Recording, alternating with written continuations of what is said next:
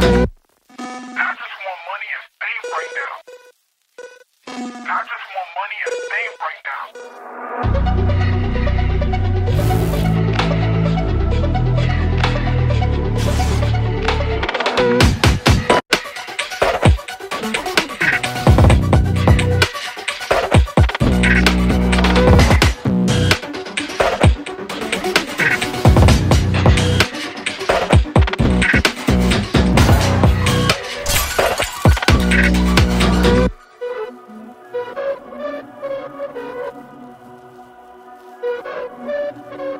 Thank you.